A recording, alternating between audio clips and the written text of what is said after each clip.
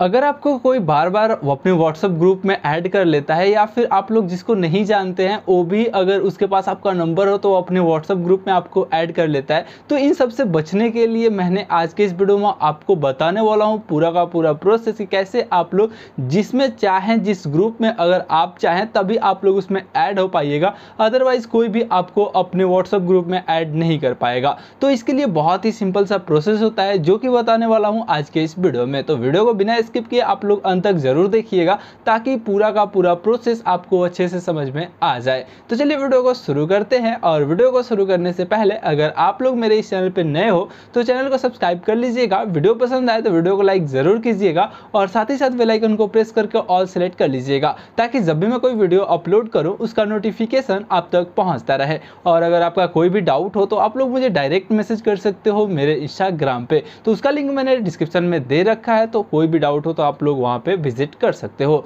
तो चलिए अब जानते हैं पूरा का पूरा प्रोसेस कि कैसे हम लोग करेंगे। तो यहाँ पे आपको साइड में दिख रहा होगा, मेरा जो स्क्रीन है वहाँ पे शो करेगा। और फिर मैं आपको पूरा का पूरा प्रोसेस बता देता हूँ कि कैसे आपको सेटिंग करना है। तो सबसे पहले आप लोग अपना जो व्हाट्सअप है, उसको ओपन कर लीजिएगा। ओपन करने के बाद यहाँ पे कुछ इस प्रकार का इंटरफेस दिखता है आपके व्हाट्सअप का।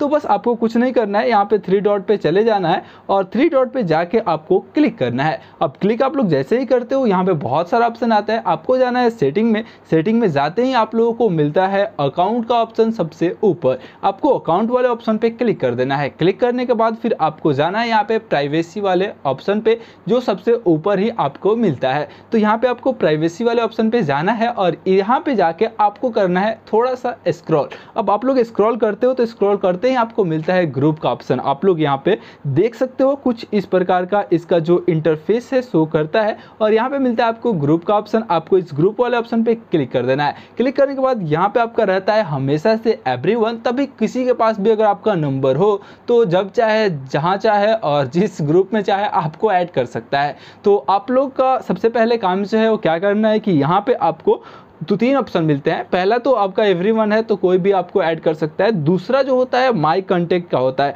अब माई कंटेक्ट का जो यहाँ पे ऑप्शन होता है तो माई कंटेक्ट में जितने भी आपके कंटेक्ट लिस्ट में लोग होंगे, वो लोग भी आपको अपने ग्रुप में ऐड कर सकते हैं। तो आपको तो उन सभी लोगों से भी बचना है। तो सबसे आपके लिए ईजी होगा कि आप लोग यहाँ पर जो सबसे नीचे यहाँ पे आपको ऑप्शन दिख रहा है, आप लोग देख सकते हो माई कंटेक्ट एक्सपेक्ट का। अब आपको यहाँ पर क्लिक करना है और क्लिक करने के बाद आप लोग यहाँ पर देख सकते सकते हो क्लिक करने के बाद आपका जो भी यहाँ पे जितने भी कंटेक्ट हैं, उसमें जिन लोगों को चाहो आप लोग उनको अलाउ कर सकते हो, जिन लोगों को नहीं चाहो आप लोग उनको अलाउ नहीं कर सकते हो। तो जिन लोगों को अलाउ करते हो, वही लोग आपको अपने व्हाट्सएप ग्रुप में ऐड कर पाएँगे अदरवाइज़ कोई भी नहीं कर पाएगा। तो आपको बस सिंपली जाना है और जिन लोगों को अलाउ करते हो, कर लीजिएगा। नहीं करना है, आप लोग मत कीजिएगा। आपको सिंपली यहाँ पे जो ग्रीन टिक है, उस पर क्लिक कर देना है। क्लिक करने के बाद आप लोग देख सकते हैं सेटिंग आपका चेंज हो गया है ग्रुप का, अब आपको कोई भी ऐड नहीं कर सकता है। तो बहुत सिंपल सा प्रोसेस है इसका, आप लोग ऐसे ही करके इजीली सब कुछ कर सकते हो।